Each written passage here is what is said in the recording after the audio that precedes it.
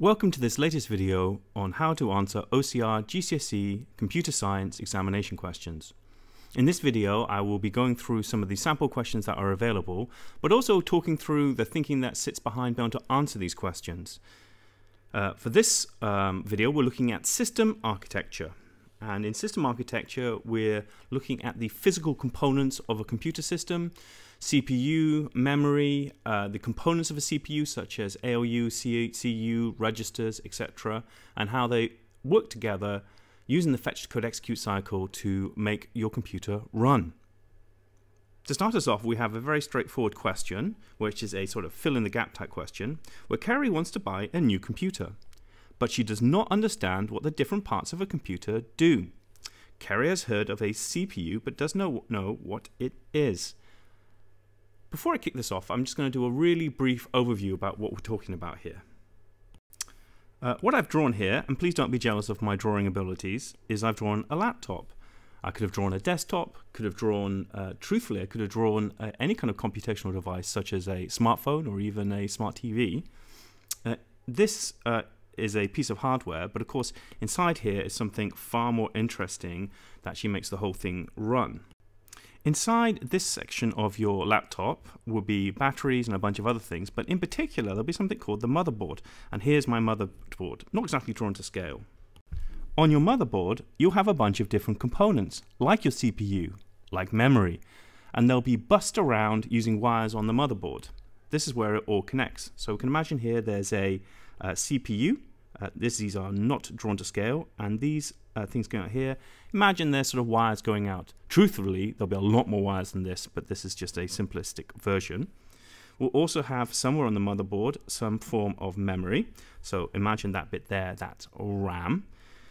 And indeed, somewhere else, uh, connected off the motherboard, we'll have uh, an SSD or some kind of secondary storage. And these all have to sort of work together. So let's go over this again this one here, this is your CPU, your central processing unit. The central processing unit fetches instructions, figures out what it's supposed to figures out what it's supposed to do by decoding them and then executing them. It's called the fetch decode execute cycle because essentially it's going to be continually cycling around processing these instructions. Not one instruction or two instructions a second, but billions of instructions every second. Where will it get these instructions from? Well, it could come from part of the CPU itself called cache, which is a type of memory, but also could be coming from this section here called RAM. This is a type of memory that exists inside the CPU. Instructions could be um, kept here, fetched to the CPU, decoded and executed, and then fetched. Again, it might also happen inside part of the CPU, and this is the bit that gets actually really quite complicated in the CPU, the sections of a CPU. So what do you have? Well, you have uh, cache. What is cache? Well, cache is your super fast memory, but it's very small. It can't store very many instructions, but it stores all the frequently used instructions. Every single time you can fetch from cache rather than fetching from memory, you've saved a bit of time. What happens inside it? Well, then it needs to decode it. To decode it, it uses another section or component of the CPU called the control unit. So this is the control unit. The control unit controls the fetch decode execute cycle, as in it manages it, manages the signal, synch synchronizes them, and also helps decode what the instruction is going to do. So we've fetched the instruction, we've decoded the instruction. The last step is to execute. And execute in this mean is to sort of do it, to make it happen. And that happens in something called the arithmetic logic unit. The arithmetic logic unit does arithmetic uh, instructions, so does things like adding or subtracting, logical, so comparisons like is it the same as, is it larger than, those sort of things. And this can be shortened to ALU. Control unit can be shortened to CU. So let's recap quickly what happens inside our little computer model. We also have a section of the CPU over here, sorry, a section of the hardware over here. Now this in this case will be a SSD, a solid state drive using flash technology, but what it represents effectively is something called secondary storage. Now, secondary storage has some properties that are different to RAM. This memory here is way faster than the memory on secondary storage. And cache is way faster still. So it's sort of like slowest, medium speed, fastest, if you want to imagine. However, cache has hardly any space, so maybe it's got, I don't know, 8 megabytes worth of storage. RAM is maybe 8 gigabytes of storage, so a thousand times larger. And your secondary storage could be in the terabytes, so it could be hundreds, if not thousands of times larger again. What other properties? Well, here's a deal with RAM. RAM is something known as volatile storage. That means as soon as you turn the power off, all the data disappears. Whereas uh, secondary storage is what's called non-volatile. So if you save your work to your secondary storage, then it will be saved there until the device uh, fails. So essentially it keeps it forever within reasonable parameters. With RAM, if you're saving it, if you've got your work in Word, for instance, and you haven't saved it, and somebody turns your computer off, the currently active data will be kept in RAM, and then RAM will be vanished, and then you've lost all your data. So, what happens if you turn your computer on uh, for the first time? Well, what's going to happen? Well, uh, your SSD is going to hold all the instructions and all the data for operating system, for instance. But something needs to kick this all into life. Now, your CPU doesn't know where to fetch from. It doesn't know to fetch from here or to fetch from here. What can it fetch from RAM where it's expecting to it? Well, because it's volatile, RAM will hold no information when it's turned on for the first time because it's volatile. So you need a third type of memory here called ROM. Now, ROM stands for read-only memory. And in this case, it's going to hold your BIOS. That's your basic input output system. This is really primitive instructions just to kick your computer into life. If you've ever turned on your computer and wondered why there's this really thing that looks like it's from the 1970s with this sort of black background and white text, well, that's because this is the chip that's making that happen.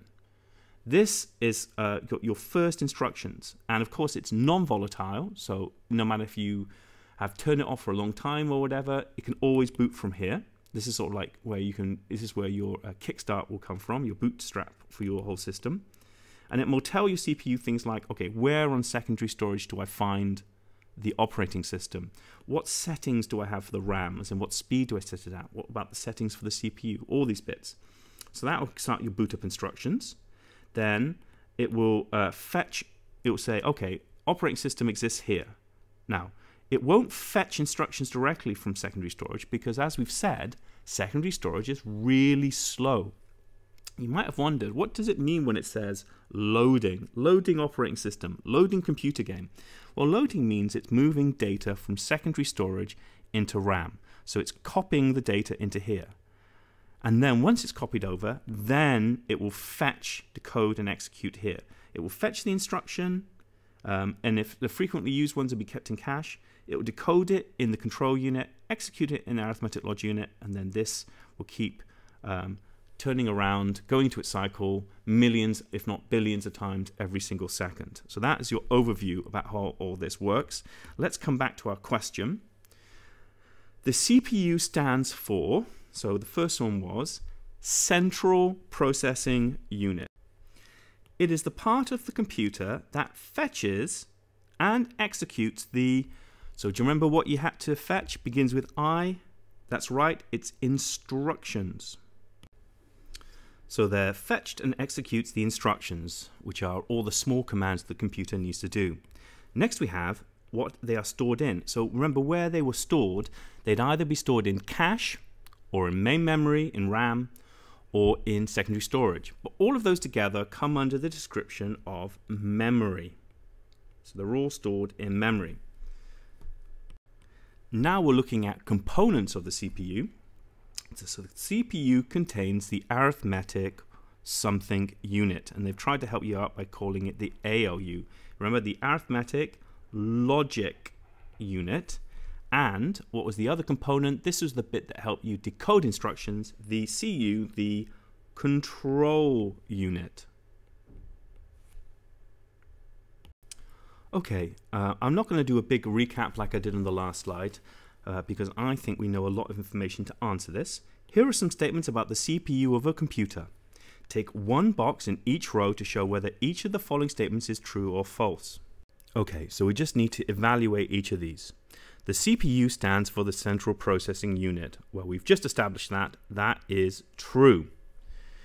The CPU fetches and decodes instructions. Well, we just established that as well. And it also executes, but it's not there, so that's true. The speed of a CPU is usually measured in gigahertz. So this comes down to the frequency of the CPU. Hertz, or one hertz, is something that happens once per second. A gigahertz is billions of times a second, and modern CPUs are nearly always rated in gigahertz, so billions of times a second. If a CPU has many cores, this slows down the computer. Not true. The more logical cores it has, uh, and the more physical cores it has, the faster it can process. So that's false. And then finally, the hard disk drive is part of the CPU. If you remember back to our model, our SSD or our secondary storage is outside the CPU, so it's not part of the CPU. False. So let's look at this question here. Identify four events that take place during the fetch execute cycle. And truthfully, we should think that as the fetch decode execute cycle. So that is a cycle with three main sections. In the first instance, data is first fetched. So it's fetched from somewhere. Now, fetched, we mean it in our everyday life as in to go gather, to go grab something. So where do you fetch from? Well, you fetch from uh, memory. So that could be RAM or that could be uh, cache, but that's where you need to fetch from. So we're fetching from memory, but it's worth thinking, what are we fetching? Well, in this case, we're fetching instructions. So instructions are going to be these small uh, individual instructions like to add or to subtract, but because we're doing billions of them a second, it means that we have tremendous power. So the first stage of the fetch execute cycle is to fetch. The next thing is, can you remember? That's right, the next one is to decode, to figure out what you're supposed to do with it. The CU decodes. Do you remember what the CU was? That's right, it's the control unit. And why does it need to decode it? Well, the instructions are in a bunch of ones and zeros. It needs to figure out are these ones and zeros to add? Are they to subtract? Is this an address in memory I need to get hold of? Is it actual value? That's what the decoding does. And then the final stage, what's the final stage? That's right, the final stage is to execute the instruction. Now that we've figured out what the instruction is supposed to do, we execute the instruction by sending it to the arithmetic logic unit ready to be calculated. What happens next? Well, this cycle will repeat and it will keep repeating. Uh, what else do we need to learn about? Well, something we haven't spoken about are, are something called registers. So how does this happen? What registers? So these are small parts of the CPU, components, a bit like the control unit and arithmetic logic unit, and the registers are small bits of memory that help support, make this thing work, make the actual um, fetch decode execute uh, cycle happen. And so we need to learn about a couple of those. Now we said that uh, instructions were fetched from memory. So this is an example how you can imagine memory, just whether it's RAM or cache, banks of um, spaces where you can keep instructions. And you see they're numbered because you need to know where do I fetch the next one from. Now, uh, under standard conditions, all instructions for a particular process are all one after each other. So once you fetch one instruction, uh, instruction from position one and decode and execute, then you need to get two, then three, then four. And something needs to keep track of that. Now that's the first of the registers we'll talk about. It's called the program counter. Okay, so these are the three registers we need to learn about. The program counter, the memory address register, and the memory data register. And all of them are about keeping track of which bit of um, a memory we're using, as in the address of it, and also what was actually held in there. So for instance, let's say in this first instruction we had 011101. Do I know what that's meant to do? I have no idea whatsoever. But you see what address it's at? It's at number 1. So program counter starts looking at number 1 because address one. It then passes it, this value would then be pushed down to the memory address register. And that would then contain the value 1. That would tell the CPU that it needs to fetch from address 1. So 1 is fetched and then dropped into the memory data register. Now, that's going to hold the data of what's held in here. And you see my box is just nowhere near sufficiently large enough. So let me just fix there for a second, because what I'm going to need to do, right, is I'm going to need to make it large enough to be able to hold that entire bit of data. So there we go. Ooh, is that going to be large enough? Maybe if I make it a bit smaller for a second. One second. Was it 0, 1, 1, 0, 1? Okay, so 0, 1, 1, 101. There we go. So that's now holding the data at that place, ready for it to be executed. Then uh, fetched. What happens is then the program counter, every single time that the cycle goes round, it's the thing it's keeping track of what the current address we're going to be fetching the instruction from is. So instead of 1, it increments and it goes up by 1. So this time it will be 2. And then 2 will be passed into the memory address register. You fetch the instruction from 2, it gets put into the memory data register, it decodes it, and onwards and onwards in an endless cycle this goes. Alright guys, let's see if we can then answer the question. So let's start with the basics. Let's just thought, let's just talk our way through the fetch decode execute cycle. The first part is that it fetches. So an instruction is fetch from memory. Then you need to think what the next stage is. So the next stage is that it decodes it. So it then decodes the instruction at the control unit. And then last do the last section of the fetch decode execute cycle, which is to execute. And so the instruction is then executed at the arithmetic logic unit. Uh, this is the place where you can get into a bit of danger because you think, aha, I've, I've answered it completely. But you can see you've got, you'll have one mark for saying it's fetched, one mark for saying it's being decoded at the control unit, and then a last mark here for being at the ALU. But that's three marks. What else can we say? Hey, the first thing is it's a cycle. So you talk about the fact that the process um, will then repeat. You also can be talking about and I know we're at four marks now, but it's worth knowing because I'm sure we'll need it later on, how the register use. So what does the program counter do? The program counter uh, increments at each cycle. Uh, sometimes the program counter is referred to as the PC because it's the shortened version. The memory address register, guess what that can be referred to as? The MAR. What does the MAR do? MAR uh, indicates what? The address of the next instruction. And I've run out of space here, but what we can say is for the MDR, the MDR holds the contents held in the memory location indicated by memory address register. So the memory address register holds the actual address, but then the contents, what's held inside it, is held in the memory data register. Okay, so this sets up us quite nicely for this question here, where we have a bunch of statements we need to evaluate and then say which one of these does it apply to and note one or more boxes. So we have to go and compare each one as we go along. So in this case, it stores a single address. So let's go through each one. The memory uh, address register holds the address of the instruction we want to fetch. So that's definitely a single address memory data register, where that holds the contents. So that's not going to be holding an address, it holds the contents. Cache, that cache will hold a bunch of uh, instructions, frequently used instructions, it won't be a single address. Program counter, that does hold the address, and then it increments as you go through each cycle. And RAM, RAM holds lots of information, uh, instructions, and data, so definitely not a, uh, a single one. It stores frequently used instructions. Ah, this is nice because uh, MAR doesn't store any instructions, it stores the address. MDR doesn't store one instruction, but it's whatever the current fetch decode execute one is. So uh, that doesn't apply. Cache, that's what stores frequently used instructions. Program counter address, RAM, RAM's going to store all the instructions and data you currently need, not necessarily most frequently used ones. It is a register. So which one of these? In fact, we can say cache is not a register, although it's a component of the CPU, it's not a register, and RAM is not a register. It might be worth pointing out what additional registers we have. We also have the accumulator that keeps track of the running total, uh, uh as opposed to the, uh, in addition to these three. And then finally, it stores all currently running data and instructions.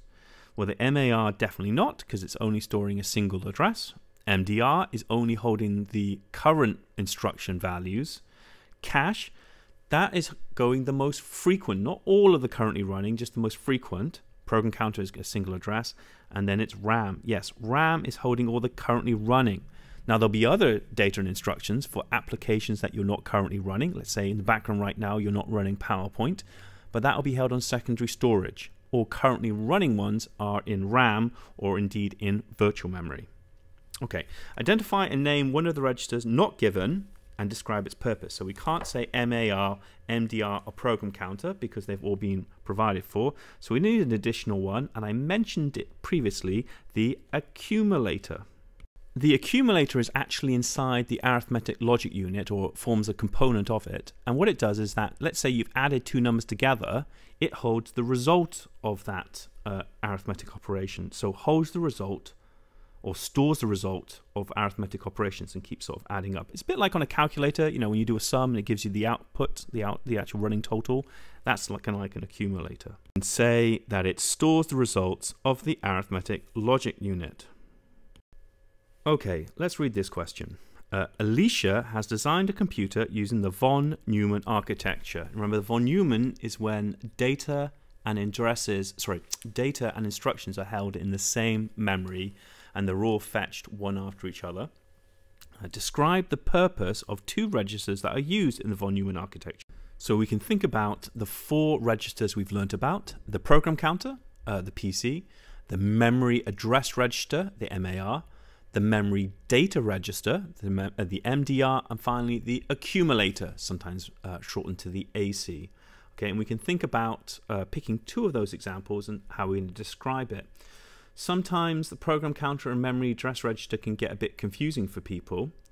Uh, so uh, you're welcome to do the two of them, but I think maybe we could do program counter maybe, and let's say uh, and let's say the MDR, since we've been talking about those quite a bit. So the program counter could be one, so you get a mark for that straight away. Uh, so the program counter has two jobs really. It stores the address of the next instruction to be fetched, so not the instruction, but the address of the instruction and increments. So stores the address of the next instruction to be fetched and increments uh, at each cycle. And it's a bit similar because, of course, then the program counter passes the value of the address down to the MAR, and then that stores the address where data will be read uh, or written to next. So it's quite similar. So I can see how people could trip up on it. So I'm going to go switch to the MDR, the memory data register, and that holds the content. So it stores the uh, the actual uh, instruction from the address that's been taken from the MAR. So the MDR stores the data instruction slash instruction that is fetched read from main memory because it could be data that you're holding or it could be the actual instruction that it could be. It's difficult to say. And then it's fetched and read from main memory. Right, a question like this is all about CPU performance and why one CPU performs better potentially than the other and what factors they could be. So Anne wants to purchase a new computer and is looking at two models. The specification of the CPU is shown below. So we're looking at clock speed, cache size, and number of cores. And so we have to evaluate one, why one may be better than another. Let's explore each of these individually. So first of all, clock speed, 1 gigahertz versus 1.4 gigahertz. Now, a gigahertz is something that happens once per second. So we can imagine that we've got a CPU here doing a fetch, decode, and execute cycle. And if it's at 1 hertz, maybe it's stepping forward once per second. If it's going at 10 hertz, then it'll be going 10 times a second. So you can see the faster the clock speed, the more rapid or the more frequent you can have fetch, decode, execute cycles, and therefore will have better performance a gigahertz, so remember giga comes from a billion, so 1 gigahertz is happening 1 billion times a second. 1.4 gigahertz, 1.4 billion times a second. Which one's faster? Well, we can say that 1.4 will be faster. Cache size, now if you remember, the question is, is when you're fetching, could you be fetching from either RAM or could you be fetching from, let's say, cache here?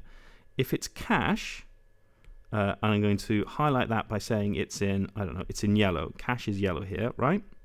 you see when it's fetching it, it's literally fetching it from part of the CPU, so it's way faster. If it's in RAM, it's going to have to go over a bus over the motherboard, get to the RAM and fetch it back, so it'll be a lot slower. More cache you have, the more frequently used instructions you can hold, and therefore you have more performance. Finally, the number of cores. Uh, well, uh, on these computers, you could have a CPU that actually has effectively two uh, logical cores or even physical cores, and they are doing their own fetch decode execute cycle. If you have dual core, you've got two of them working together. That's going to give you a lovely big advantage, and if it's quad core, even more of an advantage. So let's apply that logic to here. When running a 3D flight simulator, computer 1 is likely to run faster than computer 2. All right. So although it's got slower clock speed, so 1 gigahertz, you can do this really rough calculation where you can say actually it's 1 gigahertz, but it's times by 4 cores, right? so times by uh, 4 and that could give you this kind of really rough it's not quite as simple as this but it gives you a rough 4 gigahertz calculation while the other one is doing 1.4 gigahertz. So each core is actually faster but there's only two cores. So in this case it's 2.8 gigahertz. Now it's actually not super straightforward because it depends how well optimized the code is to run on multiple cores but a 3D flight simulator maybe is written that way, and therefore its advantage is that it has more cores. And then in our final question, explain one reason why the cache size affects the performance of the CPU. So we have to say, well, if you weren't fetching it from cache, where would you fetch it from? You fetch it from RAM. So we need to say, first of all, that cache has higher performance than RAM. Therefore, if you every time you can fetch an instruction from cache, you've picked up a little bit of speed. Now, it doesn't say it here, but of course, why would it be more? The question could be then, why is it more advantageous to have more cache? Well, that's quite straightforward.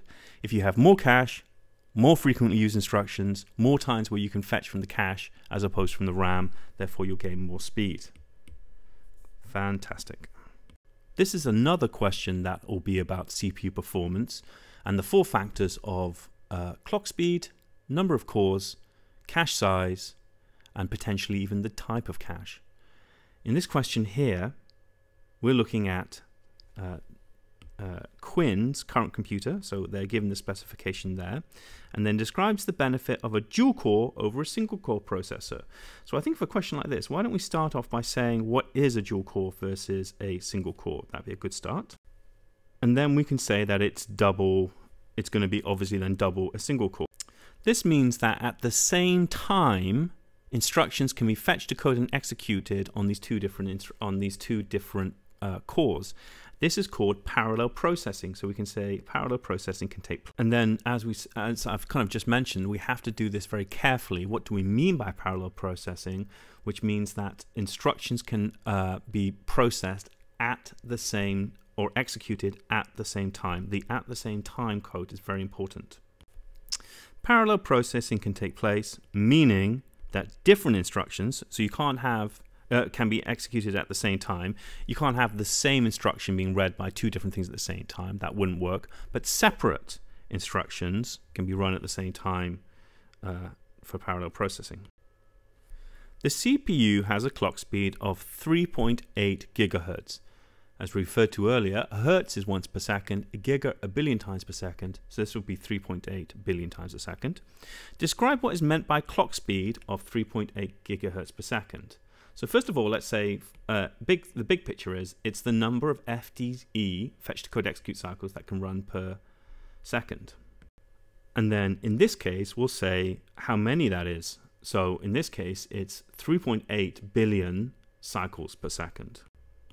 A continuation is that Alicia says, quote, my computer has a quad-core processor. If you remember, that's four processor cores. So it will run twice as fast as a computer with a dual-core processor.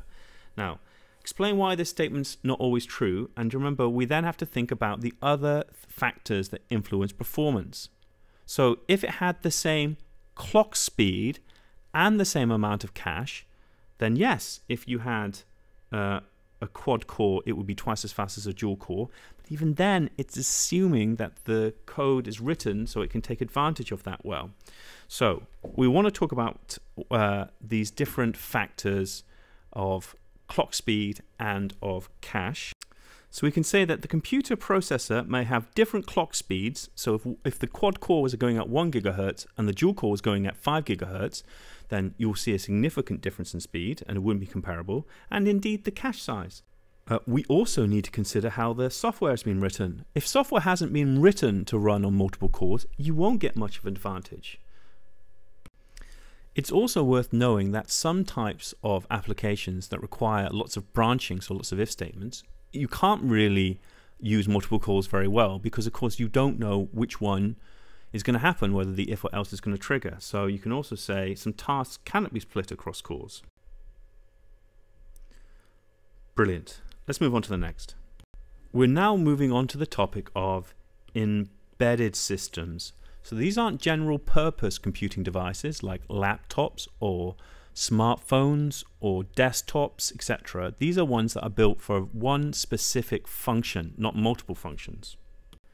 So these will be things like microwaves, washing machines, single purpose, single function devices, computing devices that are much more basic, more straightforward. You can't install apps on them, they only boot from ROM. So let's look at this question here. The following paragraph describes embedded systems. Complete the paragraph by selecting terms from the list and write them in the correct places. Not all terms are used. We've got a bunch of different questions here. Embedded systems have limited something. So what they've limited? Hopefully you picked up from what I was just saying. They have limited functions. Typically they have one function that they're trying to achieve as opposed to a general purpose device that will have multiple functions depending on what application you install. All right, let's move on. They are often built into a so they could be into a washing machine, dishwasher, fridge, car. They're often built into a larger machine, a larger machine. In fact, we're going to see more and more of these embedded devices. In fact, we have much more embedded devices than we have general purpose. Two examples of embedded systems are, so if we look through this list, one of the ones I can see here is a washing machine. So that's an example. And then something in a car. So we're going to look through here. What one of these could be inside a car? Automated, aha, automated lights. So that there's some system in there that's detecting the level of light at the time. And if it drops below a certain level, the lights come on automatically. Gareth SatNav contains an embedded system. Define what is meant by an embedded system. Uh, these are one of these definitions that you're just going to have to make sure you've learned. But essentially, it's a computer system that's built into another device. So, like we say, a washing machine, uh, the uh, light system, the automatic light system for a car, etc. So, a computer system that's built into another device. And now we've been asked to identify three devices other than a sat nav that contain embedded systems. So my go-to is always a dishwasher, but there's loads of examples here. Just be careful with some of them. So they might accept something like a mobile phone, but it wouldn't be a smartphone because smartphone's a general purpose device. So you're thinking about devices that have a single purpose.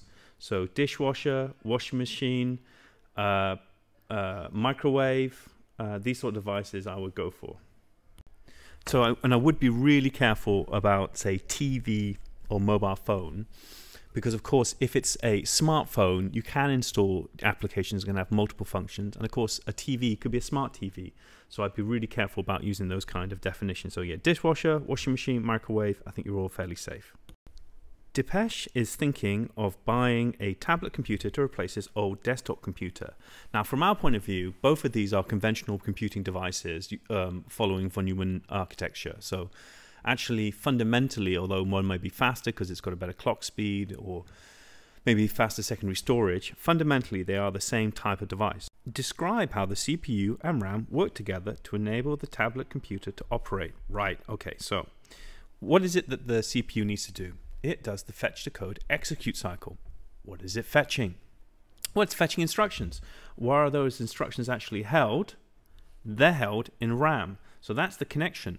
Once you've done your calculation and you've executed your instruction, ultimately, where could that data go back to? It probably will go back to the RAM. So RAM and uh, the CPU work hand in hand together.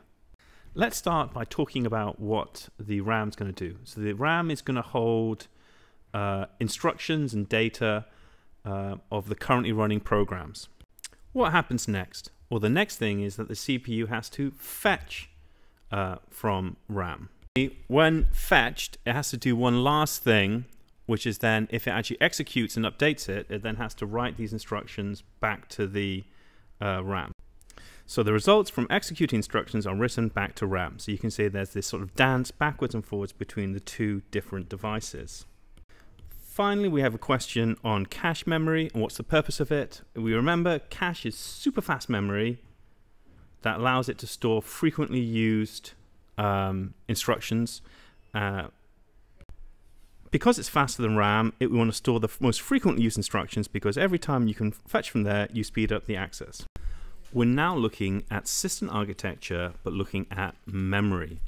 And if you remember, memory could include things like cache and RAM, secondary storage, but we also talked about the difference between something called RAM and something called ROM, and the different, uh, the different needs there are for both technologies. If you remember, with RAM, we said it was volatile, while with ROM, we said it was non-volatile. If you remember, volatile meant that if the power went off, it lost all its data, which is why if you're working on Word and somebody turns your computer off, you lose all that data because it's holding all the currently running programs. As soon as you turn it off, you lose it. Whereas ROM is non-volatile. If you want to boot up a computer from being off to on, one of the things that you're going to need is that you're going to need to have uh, a little bit of memory that is non-volatile so it can actually keep those boot up instructions. So that's why ROM is needed. So difference number one between RAM and ROM is that RAM is volatile while ROM is non-volatile. The second thing we need to consider is what do we use RAM and ROM for?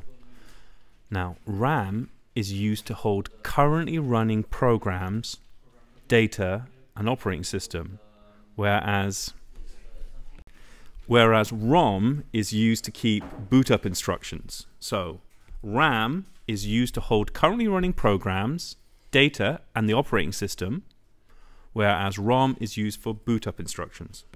So RAM stores currently running programs, data, and the operating system, while ROM stores boot up instructions. It's also worth thinking, and this could have been a third option, a third difference, is that ROM is read-only memory, while with RAM you can both read and write from it, i.e. ROM can't be changed. Quinn has decided to upgrade the RAM on his computer. Explain why this would improve the computer's performance. Over here I've actually got a little diagram of RAM and this is my uh, this is how you can imagine RAM is. This is this sort of space where you can store your currently running programs and operating system and this is one gigabytes and two gigabytes and three gigabytes and four gigabytes of RAM. Now let's say at the beginning you start loading your operating system. So the operating system starts loading in and I'm going to shade that in with green and it's taking two gigabytes. So all this here, that's taking two gigabytes worth of data straight away, leaving me with only two gigabytes to run my other applications. I then want to run Chrome, and for argument's sake, I'm saying that takes one gig of data. So now I've got three gigs left. And now what I want to do is I want to be able to run, um, I want to run Sims 4 for some reason. And let's say it needs two gigs of data. Now you see here, there's not enough space to be able to run two gigs worth of data. Do you remember what happens if you don't have enough space, what you actually do about that? That's right, what you do is you have a place called virtual memory. This is when you've taken a section of your secondary storage and then you've turned it into virtual memory. Now, obviously, it's still really slow because it's still a secondary storage. But what we can do is we can offload tasks we're not currently using. So let's say that's Chrome, and we put that over here. When we're shifting it, we're transferring it to virtual memory. Now, virtual, that means that then in RAM, we don't need this bit anymore. We can get rid of all of the bit that was to do with Chrome. Sorry if that was a bit ugly uh, fix for it here. And I wanted to load Sims 4. Sims 4, let's say, is requiring 2 gigs. Uh, and now I've got enough space to actually load it in. At some later point, uh, oh yeah, this bit on the right is virtual memory. I should do that. At some later point, let's say I want to, uh, oh, I don't know, how I want to load a Netflix app. There's no space, so what I might have to do is move Sims 4 over here to free up space. Now, what is the advantages of having more RAM? Well, the more RAM you have, the more currently running programs you can have in RAM. And of course, that means you don't have to use virtual memory as much. Virtual memory is a big problem, especially if you're constantly moving things backwards and, and, forwards, because virtual memory is very slow. Eventually, if you're using virtual memory too much, your entire program, your entire computer is running at the speed of your secondary storage. And if you're using, say, magnetic hard drive for your secondary storage, that might really, I mean, that will really slow your system down.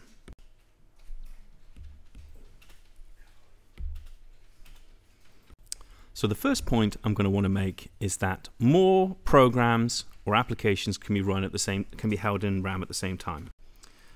If you didn't have more RAM, what would happen? So uh, what happens if we use virtual memory? It's going to really slow it down. So if we have more RAM, we don't have to use it as much. So we reduce the use of virtual memory. Why is that good? Well, because then that will uh, increase the speed because if there's less use of it, will increase uh, the speed of the, of the device. Anything else we could say? Well, of course, there might be, uh, you know, let's say in our example here, if we needed an app that required five or six gigs, we couldn't run it because even with virtual memory, we don't have enough space. So it's going to allow you to run uh, software that requires more memory. So if we went up to 8 gigs, suddenly you'll be able to actually store a 6 gig bit of uh, RAM of um, application. So this is now using, looking at an application of RAM and ROM. A satellite navigation system uses RAM and ROM. So imagine this is in the car potentially or something. Tick one box in each row to show whether each of the statements is true for ROM or RAM. So we have to evaluate each of these. Stores the boot up sequence of the sat nav. Now, as we discussed, the boot up is always going to be held on ROM. Uh, because RAM, as soon as it boots up, will be empty because it's volatile. The contents are lost when the sat nav is turned off. There we go. So ROM is non-volatile, which means it will keep all that data, while RAM is volatile. Therefore, as soon as you turn it off, all data will be lost. That means if you wanted to hold details like, for instance, routes, you'd need some kind of secondary storage, like maybe an SD card to store that. Uh, what we got here? So uh, holds copies of open maps and routes. So this is stuff that will be currently open and currently running. That will all be in RAM. We're now looking at secondary storage. So this isn't RAM or cache or ROM that can be primarily accessed for the CPU. This is stuff that's accessed indirectly, but gives us ability to have long-term storage. If you remember, ROM is non-volatile, so it can be kept forever, but you can't write to it. RAM, you can read and write to it, but it's volatile, which means as soon as you turn it off, data is lost. We need somewhere that's non-volatile and keep it and could be read to and written from. That's where secondary storage comes in. So Nina wants to transfer photos from a digital camera to an external secondary storage device. Define what is meant by secondary storage. So this is a straightforward definition. So I'm saying it's long term. Why is it long term? Because it's non-volatile i.e. even when the power goes off it keeps it storage of data. Underneath here then we talk about what the different types of secondary storage. So you might have heard things like magnetic hard drive and solid state hard drives and flash drives, USB drives, Blu-rays. Well, there are actually only three main categories. The first of those categories we're going to discuss is something called optical. Optical, i.e. meaning light, means that this could be CD, DVD, or Blu-ray. Fundamentally using similar kinds of technology, just it, it's how much uh, basically pits and flats you can have on a piece of data, and whether it's using light, infrared light, or uh, laser. Uh, so that's optical. Uh, the next one we think about is magnetic. For the most part, that involves essentially magnetic, conventional magnetic hard drives. These are really good because you can store huge amounts of data fairly cheaply. There are actually other things like called backup uh, magnetic drives where you can put tape onto it. Uh, there's floppy disks, although I must say these days you very rarely see this type of technology. Uh, the final type of technology is solid state, otherwise known as flash storage. that's when you're using circuits to store data and is a huge growth in this area, mainly because you can actually have very relatively small um, um, physical sized storage. So you can have SD cards, micro SD cards, which are absolutely tiny, storing hundreds of giga, uh, gigabytes. So you'll find in your phones, it will exclusively be using flash storage as a secondary storage. Modern laptops generally use it. But for a desktop, maybe it's less of a, uh, of concern in terms of its size. However, what it can offer is a lot of speed. And so when we're thinking about these, we need to think about different properties. So what are some of the properties? Well, we just mentioned one, which was uh, the um, which is the uh, portability. So by portability, what do we mean? Well, you consider magnetic not so portable because it's got moving parts in it, it's big and bulky, while solid state, since it doesn't have any moving parts, is really portable to move around. Other really important ones were like uh, capacity uh, or size, i.e., how much you can actually store in it. And typically that means magnetic is generally king of this. Solid states are behind it, and optical is nowhere near the size for an individual one. But of course, you could have like 100 Blu rays storing a lot of data. Then you can talk about things such as speed. And again, we're looking through these. Uh, generally, solid states near the top magnetic next, and then finally optical. This is the reason why if you have a PlayStation 4 or 5 or an Xbox, uh, the first thing you do when you get a disc is that it will try installing it to the hard drive rather than reading it off the optical. Speed, well, speed wise, generally solid state's the fastest, but of course, if it's just a regular SD card, it's probably slower than magnetic. And then maybe another important one to consider would be cost. So this is generally referred to cost per gigabyte where the solid state's the most expensive, the magnetic and optical generally the cheapest. What else can we think about? There's durability, there's reliability. These are all different factors we could think about.